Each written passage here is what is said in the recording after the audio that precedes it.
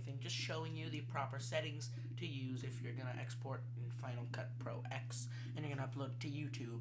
Um, so yeah, I'm gonna do that now. Sorry if it's a little laggy because I am running Final Cut Pro and recording the screen at the same time. Um, I probably know what you want to do if you want to do 1080p. YouTube doesn't handle 1080i properly, so I suggest uh, this one. Um, resolution, obviously this, um, and uh, whatever your frame rate is, that's really that.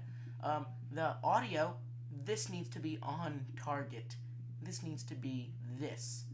Um, this is the best quality you can get. Uh, that doesn't really, you know, mess with the quality that much that it's recorded in. So, um, that's really the best quality there. Uh, all that, get it down in your brains. Then you want to press OK. Now that our project has been created, you do some stuff, and you're ready to export your movie. You can upload it right to YouTube. Most people don't like to do that. Most people like to actually have a hard copy of it. But um, I'm gonna export. Go to export. Oh, nothing. Nothing is contained there. Why not? Oh, that's a great center shot. Drag that there. Share. Export movie. Then you're gonna want to do that. Oh, Rainbow of Death.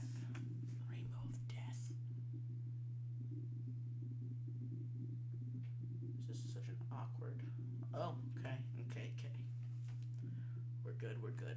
Now you're here. Export H.264. Um, you can do whatever you want here. Um, but uh, I usually do do nothing because it makes everything so slow.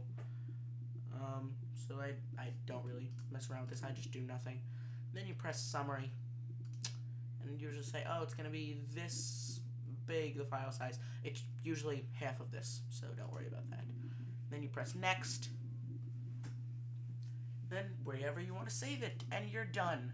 That's how simple this is. You are finished, done, forever, for life, or for this video, I guess. So, hope this helped you. Hope it was helpful. Hope this wasn't laggy. Remember to subscribe, like this video for a new video every single day for the rest of 2012.